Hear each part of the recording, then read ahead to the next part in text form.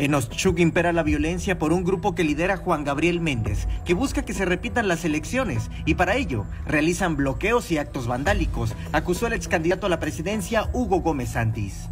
Se agudiza a los actos de violencia, uh, ya que comienzan a hacer detonaciones de armas de fuego de alto calibre. Sin embargo, tengo que puntualizar, tengo que señalar eh, quién es el inmediato responsable de todos los actos y es el autoproclamado abogado comunitario Juan Gabriel Méndez.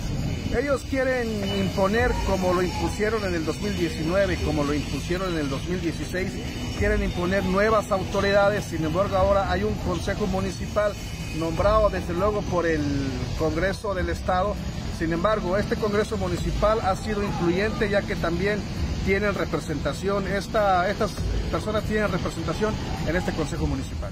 En diciembre en Oshchuk hubo elecciones por usos y costumbres, por el método a mano alzada, en el Parque Central, las cuales concluyeron con actos de violencia y una persona muerta. La jornada fue declarada inválida y a partir de ahí, el municipio se ha dividido e impera la ingobernabilidad.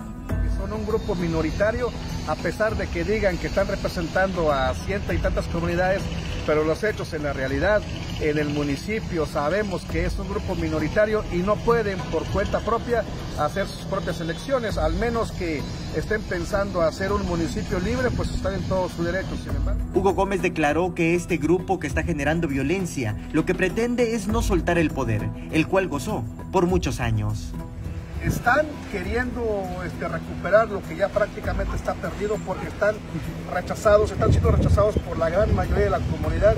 ¿Y qué es lo que les queda? Les queda un solo recurso, el recurso de las armas como lo hicieron en, este, en el 2015, en el 2016. Y nosotros, de manera organizada y de manera pacífica, vamos a seguir defendiendo la democracia. De momento, el ex candidato informó que ya se presentó una denuncia ante las autoridades por los actos de violencia y los bloqueos en el municipio. Con imágenes de Christopher Canter, Samuel Revueltas, Alerta Chiapas.